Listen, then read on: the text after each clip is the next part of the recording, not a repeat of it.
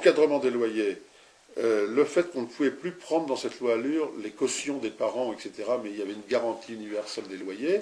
Donc, encadrement, euh, quand quelqu'un achète aussi un truc, il achète, il fait un emprunt.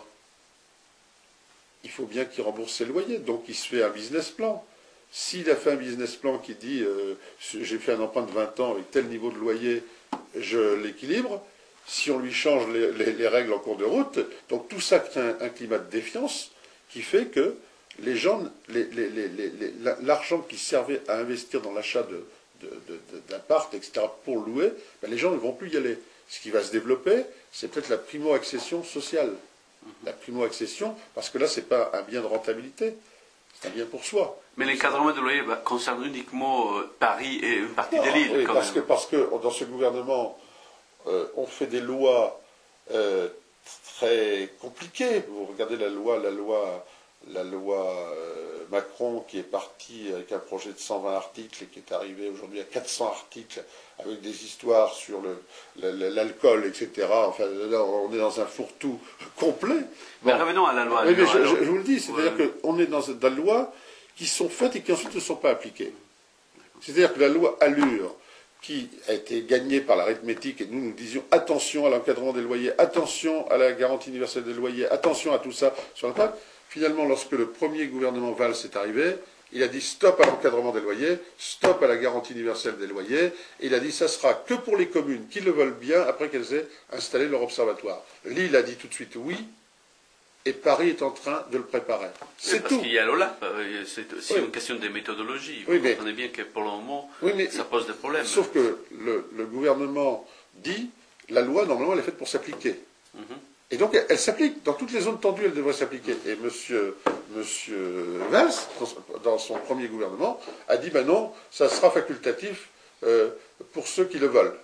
Parce qu'il y avait quand même une sorte des des lobbying euh, importants. Et la loi, donc, je vais vous des agents immobiliers. Oui, non, non, pas seulement, et, des, notaires, et des, petits, propriétaires. Et donc, si, si, donc, euh, ou bien c'est un gouvernement qui s'est résisté au lobbying parce qu'il croit à ces lois, mhm.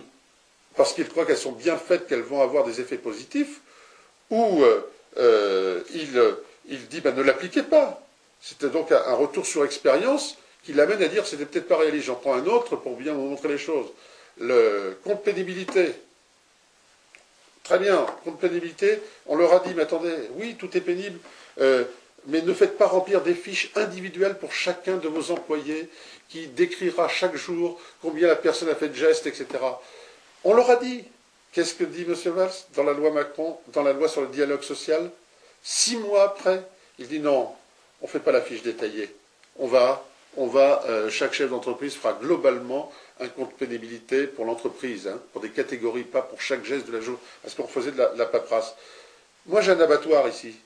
C'est pénible l'abattoir, c'est des mecs au couteau avec un truc d'acier. Et donc le chef d'entreprise, il me dit, mais moi, à part la secrétaire, moi, enfin, moi j'ai un autre travail pénible, c'est d'être chef d'entreprise, euh, à part la secrétaire, le, comptable, etc., tous les autres travails sont pénibles. Oui, je reconnais. mais, mais dites-moi qu'ils sont tous, euh, et que tous mes employés auront une pénibilité et dites-moi combien ça coûte. Ça sera plus simple. Mais ne me faites pas faire. Donc là encore, on est en train de revenir. Et la loi, et la loi euh, euh, nôtre défait ce que la loi MAPTAM avait fait. Dans, si on est dans la panade au niveau organisation territoriale, on a fait des départementales sans bien savoir quelles seraient les compétences des régions, etc. J'y peux rien, c'est comme ça. Bon. Donc pour revenir à la loi Allure, oui, on l'avait dit, le les effets sont sont moins catastrophiques que l'on pensait, parce qu'elle n'est pas appliquée dans, son esprit d'origine. Et aussi, il y a un aspect important, Madame Duflo, qui était à l'origine de la loi Allure, était beaucoup plus, j'allais dire, dogmatique euh, en termes de, la doctrine elle que pourrait le qualifier elle est dogmatique. Je, l'ai même entendu dire, elle me l'a dit, que c'était pas normal que quelqu'un puisse finalement se faire payer un appart par son, se faire payer un investissement par son locataire. Oui, mais ça, c'est les jeux de la démocratie. Bah, euh, non, mais ça veut dire qu'il n'y a plus. C'est tout, phénomène de location. On, se fait, on, achète un bien, on le loue, que ce soit une bagnole, etc. Et puis on, a l'investissement qui reste. Mais dans ce cas-là, je veux bien qu'on rentre dans un système où finalement idéologiquement, on puisse dire que euh, les individus n'ont plus à acheter quelque chose qui mette au service des autres en contrepartie d'une location et que le bien leur revient à la fin. Mais dans ce cas-là, que l'effort de logement soit fait par l'État totalement et qu'on dise, aux, dise aux particuliers qu'ils n'investissent plus dans le logement locatif. On n'est plus dans l'économie administrative, monsieur le député. Passons à, un autre point qui, fait débat, la transition énergétique. Vous avez pris position notamment sur le problème de la copropriété et le problème qui pose cette transition euh, énergétique. Alors, c'est très simple. Je crois que la, transition énergétique, d'abord, je suis pour. Et, c'est dans le domaine des transports et dans le domaine des logements que l'on ira le plus vite pour euh, réduire les consommations euh, et pouvoir injecter de l'énergie qui ne soit pas d'origine fossile. Bon. Euh, simplement, il faut distinguer trois types de logements en France aujourd'hui. Il y a tout le parc social. Le parc social où on a un propriétaire unique, qui est un bailleur, où on a des incitations fiscales euh, et en termes de subventions fortes, et où euh, il n'y a pas des discussions multiples.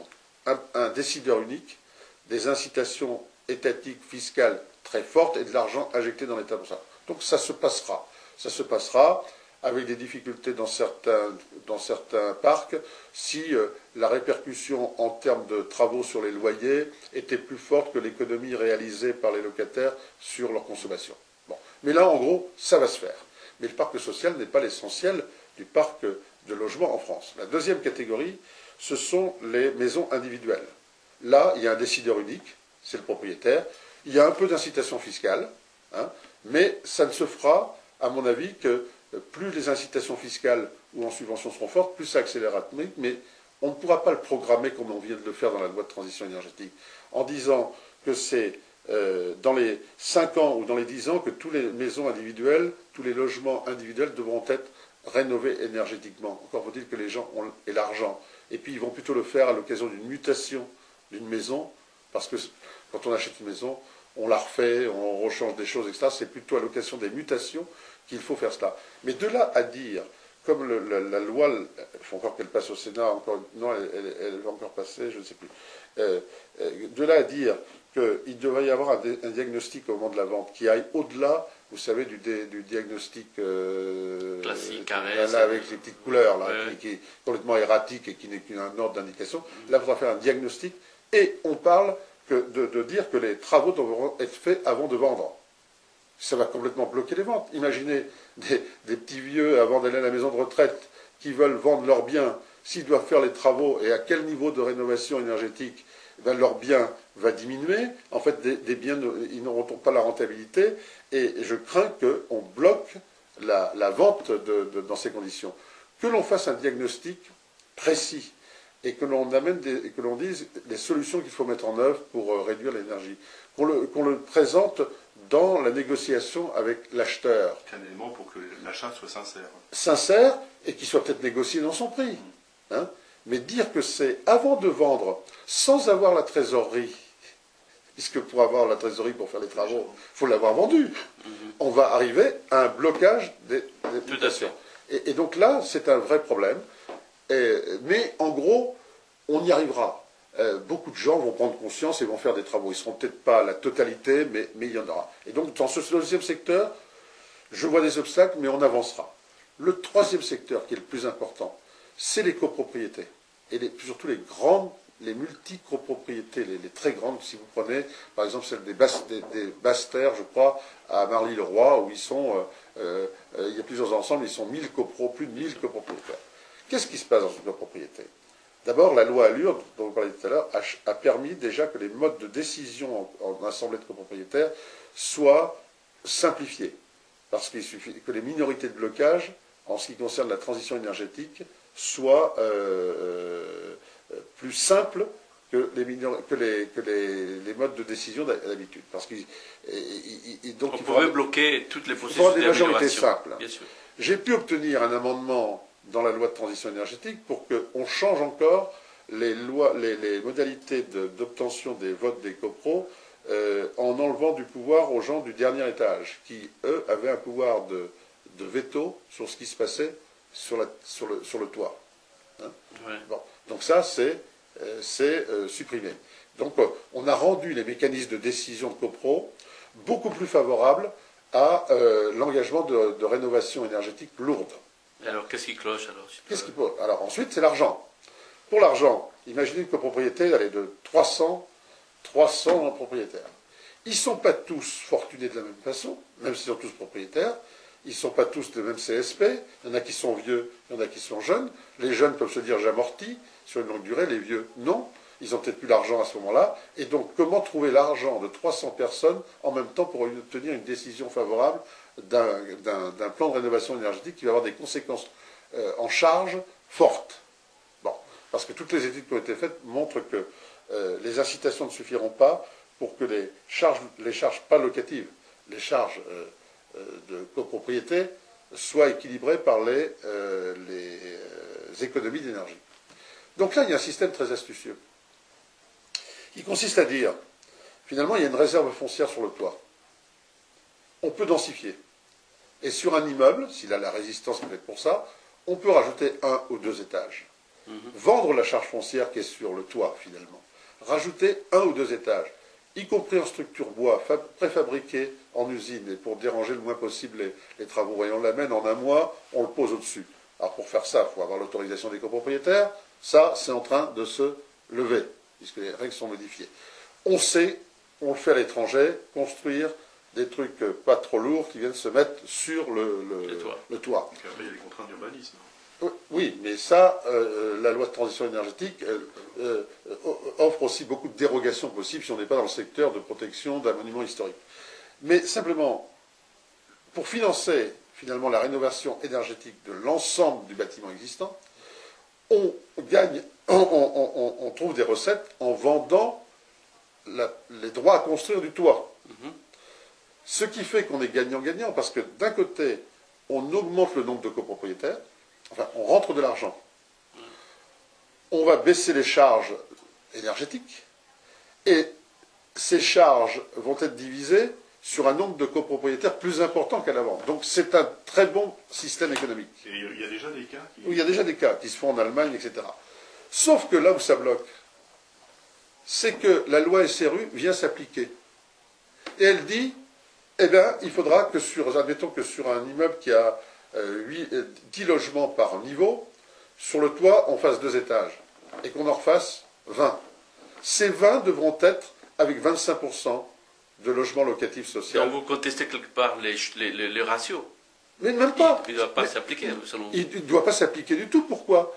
Parce que autant on peut appliquer, on peut imposer la mixité sociale dans des opérations nouvelles où les gens qui vont être propriétaires vont acheter en connaissance de cause. Mhm, mhm. Mais comment voulez-vous obliger des gens qui sont dans une propriété privée, la copro, c'est une propriété privée, à dire bah, sur votre toit, vous allez euh, prendre de la mixité sociale. Ben, c'est un débat de fond. Hein. C'est un débat de fond, mais c'est même, même, impossible. Mmh. Euh, et donc, qu'est-ce qui va se passer? Ben, Les copros vont dire non, alors pour deux raisons. C'est que ils vont complexifier la copropriété, parce que la copropriété sera faite d'individus propriétaires, plus d'un bailleur social. Plus d'homogénéité. Oui, on aurait dit, et tous les copropriétés que j'ai rencontrés disent, mais s'il faut, sur les toits, qu'il y ait de l'accession sociale, je ne sais pas si les propriétaires, mais dire que je ne sais même pas constitutionnellement comment ça peut marcher, comment peut-on imposer à vous, même si vous êtes avec un immeuble de, de 4 appartes, que sur votre toit, vous preniez du logement social en, en PLI, en, en PLAI donc vous êtes actuellement Je quelqu'un qui conteste ces, ces, cette, oui, euh, cette il, faut, il faut déverrouiller ça et à ce moment-là, la, la, la, euh, la, rénovation énergétique des grands ensembles de copropriété pourra se faire. là, elle bloquera. Alors c'est peut-être en train de se débloquer. On est en train de discuter parce que j'ai posé cinq fois la question à Mme Pinel et avant à Mme Duflot. Euh, les choses avancent et je pense que dans la loi Macron, on, aura, on, arrivera peut-être à débloquer quelque chose. D'accord. Justement, sur les obligations de, la loi SRU et notamment la mixité sociale, euh, il y a un point que vous avez aussi soulevé, c'est notamment euh, l'impact qu'il y aura cette obligation auprès des communes rurales, et notamment des petites communes comme Boifle, vous l'avez évoqué, que du fait de passer euh, en intercommunalité, doivent grimper des 2-3% de logements à 25%. Et ça, vous, considérez ça comme étant bah, c'est idiot. impossible et idiot. C'est idiot parce que, parce que l'étude d'impact n'a pas réfléchi. On est loin, on, est dans ces trucs-là. On se demande si quelqu'un est allé voir sur le terrain, voir comme, quelles contraintes ça posait au maire d'être soumis à ça. C'est très simple. À la date X, la commune en question, qui, ça se passe aussi en Vallée de Chevreuse, n'était soumise à aucune obligation sociale. Elle rentre dans une intercommunalité qui est considérée comme une intercommunalité à zone tendue. Elle est donc soumise d'un jour à l'autre au taux des 25%, qu'elle doit satisfaire dans les mêmes délais que euh, l'aglo, que les autres communes de l'aglo. Donc on peut très bien avoir le, cas complètement euh, euh, comme disait Chirac, euh, où une commune serait obligée de passer de zéro, ce qui n'est pas bien qu'elle est zéro, euh, à 25% dans les mêmes délais, c'est-à-dire 7 à 8 ans, euh, que les autres communes. Ça va défigurer l'urbanisme. C'est pas défigurer, c'est carrément impossible. Je prends un exemple d'une commune qui a 1000 logements, qui d'un seul coup est soumise à ça. Elle doit donc avoir à l'échéance 250 logements qui ne seraient que sociaux et même très sociaux, puisqu'on doit avoir que du PLAI et du plus. Ces communes construisaient peut-être 20 euh, logements par an, en moyenne, et d'un seul coup, elles devraient faire 25 euh, logements par an pendant 10 ans, tous mono euh, d'occupation, Donc, pendant ce temps-là, il faut qu'elles transforment leur PLU, il faut qu'elles trouvent les terrains, parce que ce n'est pas évident. Et donc, au lieu de pouvoir disperser aussi dans le tissu urbain, ben, on aura un quartier social à la sortie du village. C'est tout simplement inadmissible. La solution pourrait venir du fait de, quelque part, intercommunaliser euh, l'obligation de, logements sociaux. Non, parce que dans ce cas-là, il y a aussi une, je, crois, là, il y a du dogmatisme encore dans, chez Mme Duflo, bien sûr, euh, parce qu'elle disait que finalement, euh, mutualiser les objectifs du nombre de logements à l'échelle d'une aglo, c'était finalement refaire la, ne pas en mettre dans les communes qui n'en voulaient pas. Mhm. bon, on peut le comprendre. Moi, je serais pour que ces obligations pour les communes, d'abord qu'on ne les mette pas à 25%, mais à 20%, mhm. et puis que, euh, parce que c'est pas parce qu'on est, dans une, on est rural dans une grande aglo que dans cette commune rurale, il y a tous les services. Bien sûr. Est-ce qu'il y aura l'ensemble des choses qu'il faut pour accompagner 250 familles qui sont en situation quelquefois économique difficile? Je ne suis pas certain qu'à Boif, qui est une commune bien gérée, euh, on aura dans le même temps de 10 ans des médiathèques, des services sociaux ad hoc, du portage de repas pour les personnes, des centres de loisirs. Alors bien sûr, on dira c'est la communauté d'agglo qui va les prendre. Mais à quel endroit? Faudra faire des transports pour, les amener. Et donc moi, la solution n'est pas de mutualiser le taux de logement social, c'est de réduire un objectif de type de 20% et de donner une période pour, pour, obtenir satisfaction qui soit beaucoup plus longue, du type 2030 ou 2035, quitte à ce qu'il y ait des amendes à la fin. Je, suis d'accord, mais, qu'on soit pragmatique. On a l'impression que des gens n'ont jamais été maires d'un patelin dans, dans, dans, Parfois, oui. Euh, une dernière question pour conclure, monsieur euh, euh, le député. L'urbanisme est, devenu une chose très complexe, très difficile. Est-ce que vous, que vous avez fait l'école des, des, ponts et chaussées. J'ai surtout fait l'école d'être maire depuis, depuis, oui, mais au-delà de ça, depuis 1977. Au-delà de ça, pensez-vous, ça c'est philosophique, qu'il y a quelque chose qui ne va pas avec la décentralisation, quelque chose qui a complexifié l'effet communal au lieu de le simplifier, au lieu de le rendre plus vivable pour les, pour les citoyens Moi, je suis, je suis pour la décentralisation. Je suis pour la décentralisation et je suis pour les euh, comités de communes. Euh, parce que, mais depuis 81. Mais pas à l'échelle où on est en train de les faire. C'est-à-dire qu'en gros, je crois qu'on est en train de passer à des échelles qui, euh, à l'échelle des grands comités d'agglo de 400 000, 000 800 000, tout ça, nous sommes en train de passer euh, à un niveau euh, qui apportera peut-être de la cohérence, de la cohérence dans l'aménagement du territoire, qui apportera sans doute euh, beaucoup de choses sur le plan de l'attractivité économique, sur le plan de, l'attractivité pour les entreprises, etc. Être dans les commandes, mais je, ne suis pas du tout certain qu'on apporte, qu'on apporte du mieux en ce qui concerne la proximité et les services rendus au quotidien aux habitants et surtout qu'ils soient associés, ces habitants, euh, aux décisions et à la gestion. Je crois que plus on fera des grandes, des grandes agglos, parce qu'on les construit artificiellement. Vous allez me dire Paris est une grande métropole, oui, mais elle ne s'est pas faite à coup de décret. Paris s'est construit sur les siècles, avec des, des, hauts et des bas. Et, avec des, mécanismes de dialogue. C'est pas, c'est pas d'un seul coup. Euh, c'est construit par des dialogues au fur et à mesure des années, par des négociations de quartier. Par... Là, euh, on prend 60 communes, on les met ensemble, et puis vous avez un an pour vous mettre, euh, pour être organisé. les citoyens vont être paumés là-dedans, complètement paumés. Bon. Par contre, Donc vous ne succombez pas à la mode de la métropolisation à tout prix pas, pas pour toutes les compétences. Je crois que dans le domaine économique, euh, oui, il faut des métropolisations pour que, euh, à l'échelle européenne, effectivement, il y ait euh, une vraie attractivité du, benchmarking, etc. Je ne suis pas certain qu'il fallait, fallait passer à la généralisation de toutes les compétences dans ces grandes métropoles, parce qu'elles auront toutes les compétences. Merci beaucoup pour cet entretien.